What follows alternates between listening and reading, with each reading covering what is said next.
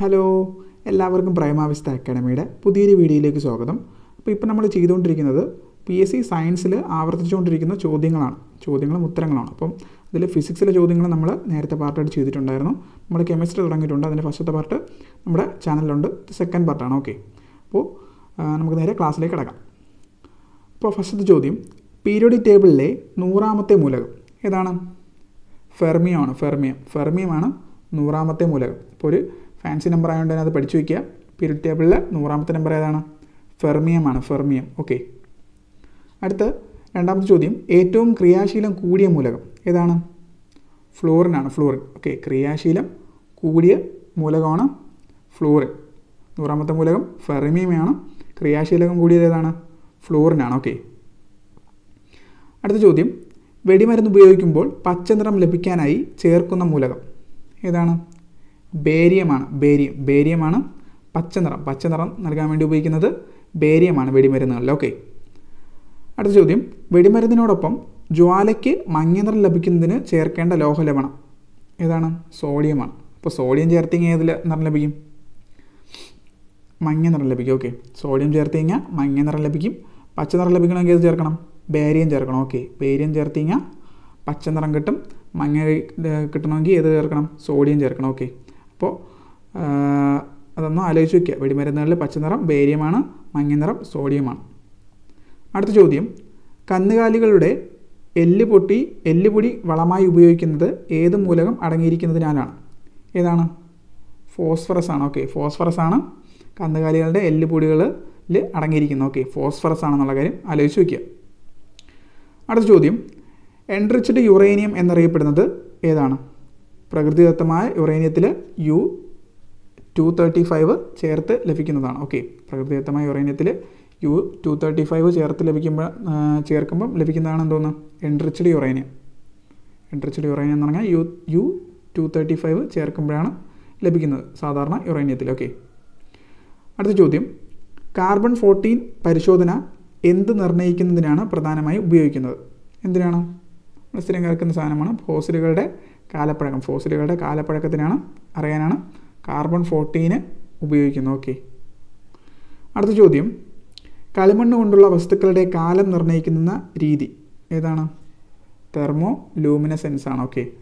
കളിമണ്ണ് കൊണ്ടുണ്ടാക്കിയ വസ്തുക്കളാണെങ്കിൽ thermo luminescence ആണ് പക്ഷേ കാലപ്പഴക്കം എന്ന് ഒറ്റ ചോദ്യം ചോദിച്ചു കഴിഞ്ഞാൽ എന്താണ്? കാർബൺ ഡേറ്റിങ്ങിന് വേണ്ടിയിട്ട് കാർബൺ ഫോർട്ടീന് ഉപയോഗിക്കുന്നത് ഫോസിലുകളുടെ കാലപ്പഴക്കമാണ്. ഓക്കെ. ഫോസിലുകളുടെ കാലപ്പഴക്കം കാർബൺ ഫോർട്ടീനും കളിമണ്ണുണ്ടുള്ള വസ്തുക്കളാണെങ്കിൽ തെർമോ ലൂമിനൻസ് ആണ്. അത് ആലോചിച്ച് വയ്ക്കുക. അടുത്ത ചോദ്യം. നീറ്റ് കക്ക ജലം ചേർക്കുമ്പോൾ രാസപ്രവർത്തനം നടന്ന് ഉണ്ടാകുന്ന സംയുക്തം. കാൽസ്യം ഹൈഡ്രോക്സൈഡാണ് കാൽസ്യം ഹൈഡ്രോക്സൈഡാണ് നീറ്റ് കക്കയിൽ ജലം ചേർക്കുമ്പോൾ ഉണ്ടാകുന്ന എന്തോന്ന്? സംയുക്തം.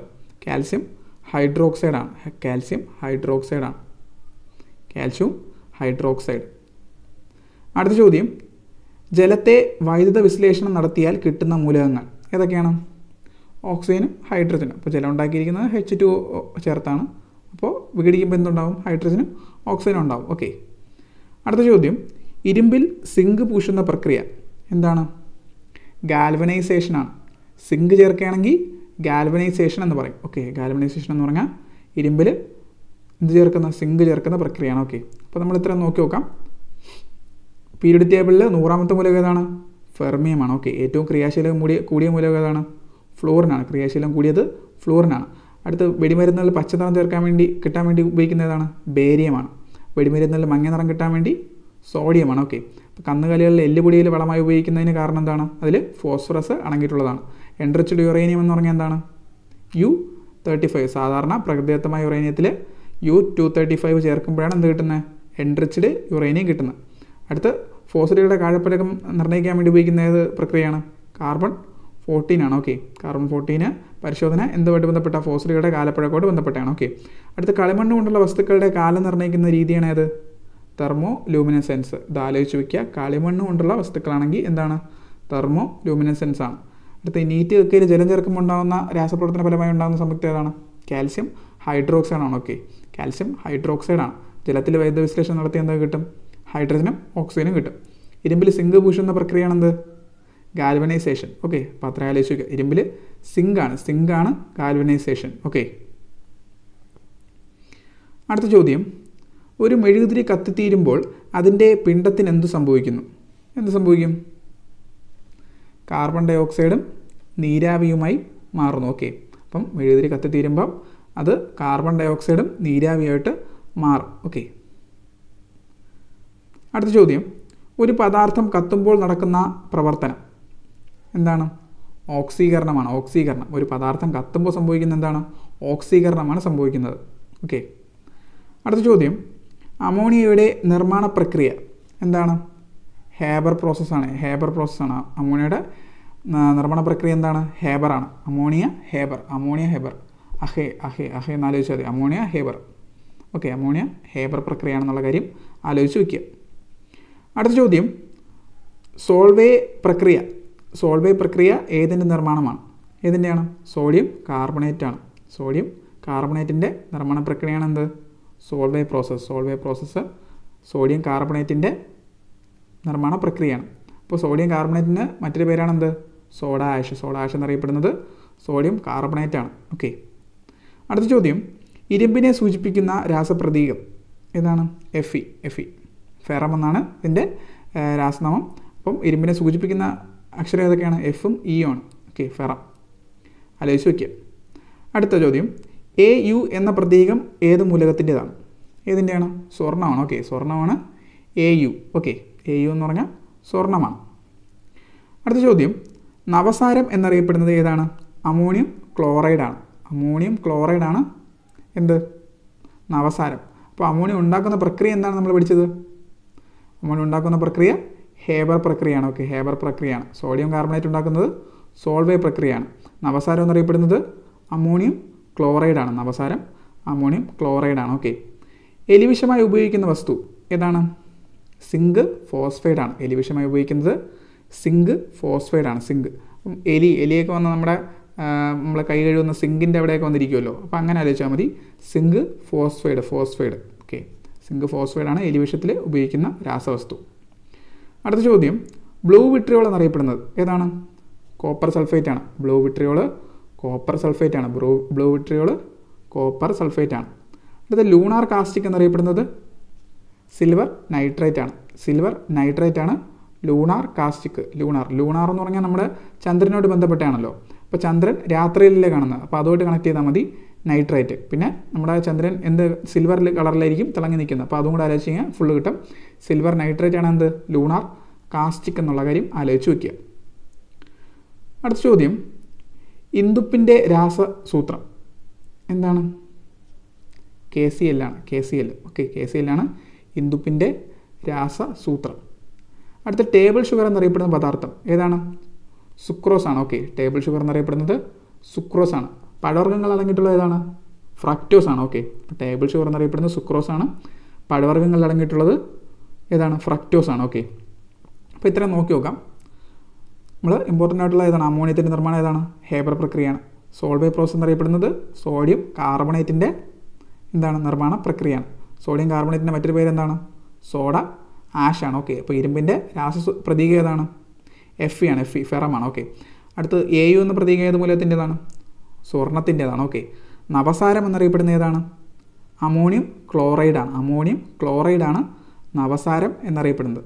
അടുത്ത എലിവിഷമായി ഉപയോഗിക്കുന്ന രാസവസ്തു ഏതാണ്? സിങ്ക് ഫോസ്ഫൈഡ് ആണ് എലി നമ്മുടെ സിങ്കിൽ വന്നാണ് കിടക്കുന്നതെന്ന് ആലോചിച്ചാൽ മതി. Zinc phosphide. Okay. Blue vitriol ഏതാണ്? കോപ്പർ സൾഫേറ്റ് ആണ് ബ്ലൂ വിട്രിയോൾ കോപ്പർ സൾഫേറ്റ് ആണ് ലൂണാർ കാസ്റ്റിക് സിൽവർ നൈട്രേറ്റ് ആണ്. നൈറ്റിൽ ലൂണാർ. ലൂണാർ എന്ന് പറഞ്ഞാൽ ചന്ദ്രനുമായിട്ട് ബന്ധപ്പെട്ടത്. അപ്പോൾ സിൽവർ നൈട്രേറ്റ് എന്ന് കിട്ടും. ഓക്കെ. ഇന്ദുപ്പിന്റെ രാസസൂത്രം ഏതാണ്? കെ സി എല്ലാണ് കെ സി എല്ലാണ് ഇന്ദുപ്പിന്റെ രാസസൂത്രം. ടേബിൾ ഷുഗർ എന്നറിയപ്പെടുന്നത് എന്താണ്? സുക്രോസ് ആണ്. സുക്രോസ് ഓക്കെ അടുത്തത് സോഡാജലം. സോഡാജലത്തിന് കാർബൺ കാർബോണിക് ആസിഡ് എന്നാണ് പറയുന്നത്. ഓക്കെ അപ്പം രാസനാമങ്ങളാണ് സോഡാജലം കാർബോണിക് ആസിഡാണ് കാർബോണിക് ആസിഡാണ് സോഡാജലം. അപ്പക്കാരത്തിന് എന്താ പറയുന്നത്? സോഡിയം ബൈകാർബണേറ്റ് സോഡിയം ബൈകാർബണേറ്റ് ആണ് എന്ത്? അപ്പക്കാരം അപ്പക്കാരം. അപ്പോൾ നമ്മളിതിൽ മാറിപ്പോതിരിക്കാൻ വേണ്ടി നമുക്കൊരു കാര്യം ആലോചിക്കും. സോഡിയം കാർബണേറ്റ് ആണോ? സോഡിയം ബൈകാർബണേറ്റ് ആണോ? എന്നാണ് നമുക്ക് ഇപ്പം ഡൗട്ട് ആവുന്നത്. അപ്പക്കാരം സോഡിയം കാർബണേറ്റ് ആണോ ബൈകാർബണേറ്റ് ആണോ എന്ന് ആലോചിച്ചാൽ മതി. അപ്പം അതിന് നമുക്ക് ബൈ ബൈ എന്ന് പറഞ്ഞാൽ ബൈക്കാർബണേറ്റ് അതിൽ ബൈക്ക് എന്ന് പറഞ്ഞ ഒരു സംഭവം ഉണ്ടല്ലോ.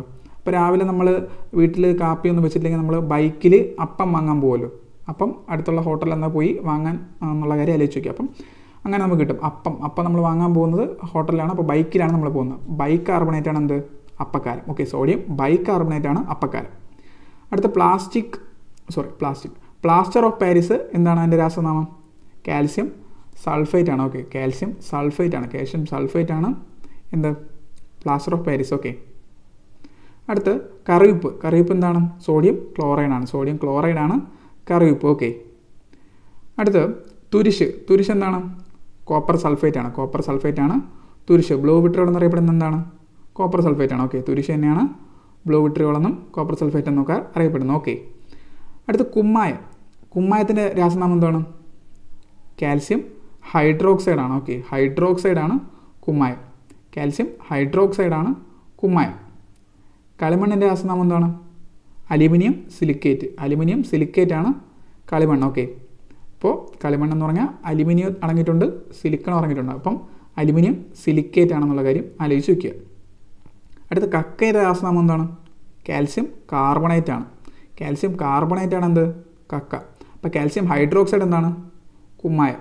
അപ്പോൾ കാൽസ്യം കാർബണേറ്റ് കക്കയും കാൽസ്യം ഹൈഡ്രോക്സൈഡ് കുമ്മായോ അത് രണ്ടും മാറിപ്പോകാതെ ആലോചിച്ച് വയ്ക്കുക ഓക്കെ. അടുത്ത നീറ്റ് കക്കയുടെ എന്താണ്?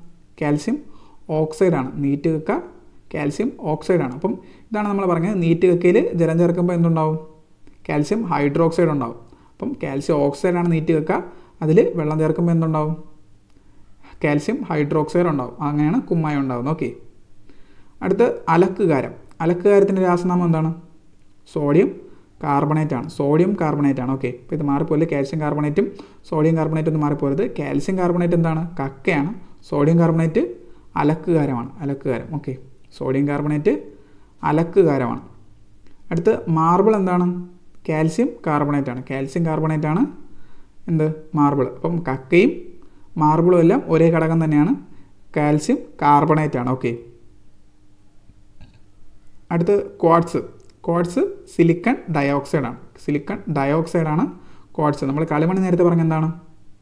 കളിമണ്ണ് എന്താണ് അടങ്ങിയിട്ടുള്ളത്? അലുമിനിയം സിലിക്കേറ്റ് ആണ്. ഇവിടെ സിലിക്കൺ ഡയോക്സൈഡ് ആണ്. ഓക്കെ. ക്വാഡ്സിൽ സിലിക്കൺ ഡയോക്സൈഡ് ആണ്. അടുത്ത ബ്ലീച്ചിങ് പൗഡറിൽ ഇറങ്ങിയിട്ടുള്ള ഏതാണ്? കാൽസ്യം ഹൈപ്പോ ക്ലോറൈറ്റ് ആണ് കാൽസ്യം ഹൈപ്പോ ക്ലോറൈറ്റ് ആണ് ബ്ലീച്ചിങ് പൗഡറിൽ ഇറങ്ങിയിട്ടുള്ളത് അപ്പം കാൽസ്യം ഉണ്ട് പിന്നെ ഹൈപ്പോ ക്ലോറൈറ്റ് ക്ലോറിനും ഉണ്ട്. ഓക്കെ. കാൽസ്യവും ക്ലോറിനുമാണ് അടങ്ങിയിട്ടുള്ളതാണ് ബ്ലീച്ചിങ് പൗഡർ അപ്പോൾ കാൽസ്യം ഹൈപ്പോ ക്ലോറൈറ്റ് എന്നാണെന്നുള്ള കാര്യം ആലോചിച്ച് വയ്ക്കുക അടുത്ത ചോദ്യം. വെള്ളി ആഭരണങ്ങളുടെ നിറം മങ്ങുന്നതിന് കാരണമായ വാതകം എന്താണ്? സൾഫർ ഡയോക്സൈഡാണ്. സൾഫർ ഡയോക്സൈഡാണ് വെള്ളി ആഭരണങ്ങളിൽ നിറം മങ്ങുന്നതിന് കാരണം. ഓക്കെ. വെള്ളി ആഭരണങ്ങൾ നിറം മങ്ങുന്നതിന് കാരണം എന്താണ്? സൾഫർ ഡയോക്സൈഡ് ആണെന്നുള്ള കാര്യം ആലോചിച്ച് വയ്ക്കുക അടുത്ത ആസിഡ് ബാറ്ററികളിൽ ടോപ്പ് അപ്പിന് ഉപയോഗിക്കുന്ന ദ്രാവകം എന്താണ്? ഡിസ്റ്റിൽഡ് വാട്ടറാണ്. ഡിസ്റ്റിൽഡ് വാട്ടറാണ് ആസിഡ് ബാറ്ററികളിൽ ടോപ്പ് അപ്പിനായി ഉപയോഗിക്കുന്ന ദ്രാവകം. ഓക്കെ ഡിസ്റ്റിൽഡ് വാട്ടറാണ്. ഓക്കെ. അടുത്ത കൃത്രിമ മഴ പെയ്യിക്കാൻ ഉപയോഗിക്കുന്ന രാസവസ്തു ഏതാണ്? സിൽവർ അയഡൈഡാണ് സിൽവർ അയഡൈഡാണ് ഓക്കെ കൃത്രിമ മഴ. കൃത്രിമ മഴ ഉണ്ടാക്കാൻ വേണ്ടി സിൽവർ അയഡൈഡാണ് കൃത്രിമ മഴ. മഴ എന്ന് പറഞ്ഞാൽ ഭയങ്കര വില മതിക്കാനാവാത്ത സാധനമല്ലേ? നമ്മൾ ചിലപ്പോൾ മഴയില്ലാതെയൊക്കെ കഷ്ടപ്പെടുമല്ലോ. അപ്പം അങ്ങനെ ആലോചിച്ചാൽ മതി. Silver iodide silver. സിൽവർ ഒക്കെ കൊണ്ടുവന്നിട്ടാണ് നമ്മൾ മഴ ഉപയോഗിക്കുന്നത്. Silver iodide okay. കൃത്രിമ മഴ സിൽവർ അയഡൈഡാണ് ഓക്കെ. അടുത്ത ഫോട്ടോഗ്രാഫിയിൽ ഉപയോഗിക്കുന്ന ലവണം. ഏതാണ്? സിൽവർ ബ്രോമൈഡാണ്. സിൽവർ ബ്രോമൈഡാണ്. ഓക്കെ. അപ്പം ഫോട്ടോഗ്രാഫിയിൽ ഉപയോഗിക്കുന്ന ലവണം ഏതാണ്? സിൽവർ ബ്രോമൈഡാണ്. അപ്പോൾ നമ്മൾ പഠിക്കുക ഒരു കോഡ് പറഞ്ഞുതരാം.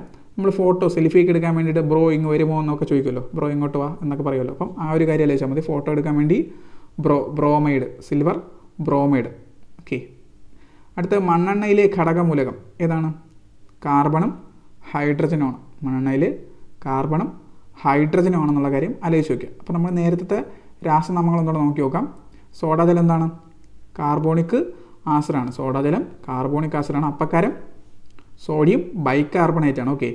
അടുത്ത plaster of Paris calcium sulphate ആണ്. അടുത്ത കറിയുപ്പ് സോഡിയം ക്ലോറൈഡ് ആണ്. സോഡിയം ക്ലോറൈഡ് ആണ് കറിയുപ്പ്. അടുത്ത് കോപ്പർ സൾഫേറ്റിന് എന്താണ് പറയുന്നത്? തുരിശ്. Okay. Copper sulphate blue vitriol എന്നൊക്കെ അറിയപ്പെടുന്നത് തുരിശാണ് ഓക്കെ. അടുത്ത കുമ്മായത്തിന്റെ രാസനാമം എന്താണ്? കാൽസ്യം ഹൈഡ്രോക്സൈഡ് ആണ്. ഓക്കെ. കുമ്മായത്തിന്റെ രാസനാമമാണ് കാൽസ്യം ഹൈഡ്രോക്സൈഡ്. കളിമണ്ണിന്റെ രാസനാമം എന്താണ്? അലുമിനിയം സിലിക്കേറ്റ് ആണ്. ഓക്കെ അലുമിനിയം സിലിക്കേറ്റ് ആണ്. കളിമണ്ണിന്റെ രാസനാമം. കക്കയുടെ രാസനാമം എന്താണ്? കാൽസ്യം കാർബണേറ്റ് ആണ്. കക്കയുടെ രാസനാമം കാൽസ്യം കാർബണേറ്റ് ആണ്. നീറ്റ് കക്കയുടേതാണെങ്കിൽ കാൽസ്യം ഓക്സൈഡ് ആണ്. ഓക്കെ അപ്പോൾ ഇത് മാറിപ്പോയൊരു നീറ്റ് കക്കയുടെ കാൽസ്യം ഓക്സൈഡ് ആണ്. കുമ്മായത്തിന്റെത് കാൽസ്യം ഹൈഡ്രോക്സൈഡ് ആണ്. ഓക്കെ അടുത്ത് അലക്കുകാരം സോഡിയം കാർബണേറ്റ് ആണ്. അലക്കുകാരം സോഡിയം കാർബണേറ്റ് ആണ്. അടുത്ത് മാർബിൾ കാൽസ്യം കാർബണേറ്റ് ആണ്. മാർബിളും പിന്നെ നമ്മുടെ കക്കയും എല്ലാം ഒരേ സാധനമാണ്. എന്താണ്? കാൽസ്യം കാർബണേറ്റ് ആണ്. അടുത്ത് ക്വാഡ്സ് സിലിക്കൺ ഡയോക്സൈഡ് ആണ്. ക്വാഡ്സ് സിലിക്കൺ ഡയോക്സൈഡ് ആണ്. Bleaching powder calcium hypochlorite ആണ്. കാൽസ്യം ഹൈപ്പോ ക്ലോറൈറ്റ് ആണ് ഓക്കെ നമ്മൾ വെള്ളി ആഭരണങ്ങൾ നിറമങ്ങുന്നതിന് കാരണം സൾഫർ ഡയോക്സൈഡ് ആണെന്ന് പഠിച്ചു. അടുത്ത് ആസിഡ് ബാറ്ററികളിൽ ആയിട്ട് ഡിസ്റ്റിൽഡ് വാട്ടറാണ് കൃത്രിമ മഴ നിർമ്മിക്കാൻ വേണ്ടി ഉപയോഗിക്കുന്നത്. സിൽവർ അയഡൈഡ് ആണ്. ഫോട്ടോഗ്രാഫിയിൽ ഉപയോഗിക്കുന്ന ലവണ ഏതാണ്? സിൽവർ ബ്രോമൈഡ് ആണ്. ഓക്കെ ബ്രോ ഇങ്ങോട്ട് വരുമോ എന്നുള്ള കോഡ് നമ്മൾ പറഞ്ഞു. പിന്നെ മണ്ണെണ്ണയിലെ ഘടകമൂലം ഏതാണ്? കാർബണും ഹൈഡ്രജനുമാണ് ഓക്കെ കാർബണും ഹൈഡ്രജനും ആണെന്നുള്ള കാര്യം ആലോചിച്ച് വയ്ക്കുക ഓക്കെ അപ്പോൾ ഇതിന്റെ ബാക്കി വീഡിയോ നമ്മൾ അടുത്ത ക്ലാസ്സിലായിട്ട് ഇടുന്നതായിരിക്കും. അപ്പോൾ അടുത്ത വീഡിയോയിൽ വീണ്ടും കാണാം. അതുവരേക്കും ബൈ.